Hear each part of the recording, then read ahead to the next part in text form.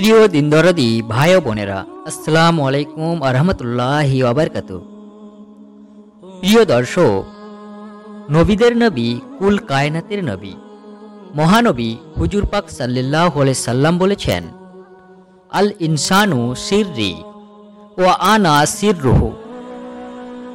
অর্থাৎ, মানুষ আমার রহস্য এবং আমি মানুষের রহস্য। রাসুল পাক সাল্লাহ সাল্লামের এই মূল্যবান উক্তিটি নিয়ে আমরা কখনোই চিন্তা করে দেখিনি। কখনো আমরা একবারের জন্য ভেবে দেখিনি যে হুজুর পাক সাল্লাহ সাল্লাম এই কথাটি কেন বললেন। এই উক্তিটির মধ্য দিয়ে তিনি আমাদের কি ইঙ্গিত দিয়েছেন? এই উক্তিটির অর্থ কি? তাই আসুন মহানবীর এই মূল্যবান উক্তিটি সংক্ষেপে আলোচনা করি।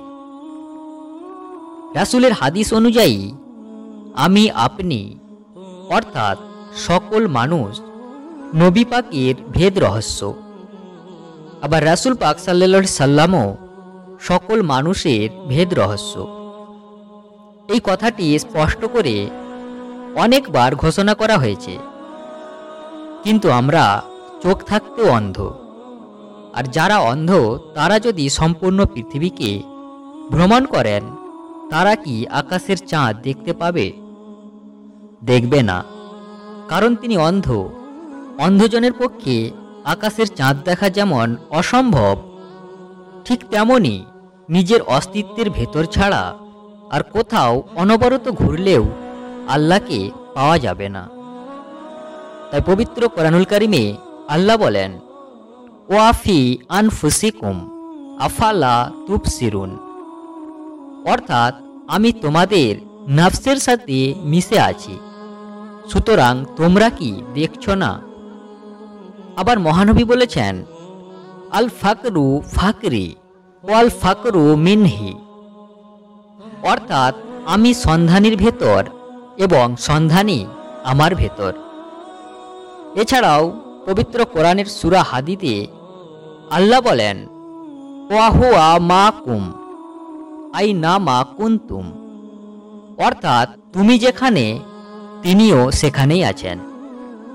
হজুর পাক সাল্লাম বলেছেন, লা ইয়াক ইয়াকবালুল্লাহ তালা ইবাদাতিল আবদি বি গায়রি মারিফাতিল্লাহি তালা ইন কানা আল ফাসানা অর্থাৎ মারিফাতের জ্ঞান ছাড়া যদি কেউ হাজার বছর ইবাদত করে, তবু তার সেই ইবাদত আল্লাহর নিকট গ্রহণীয় হবে না।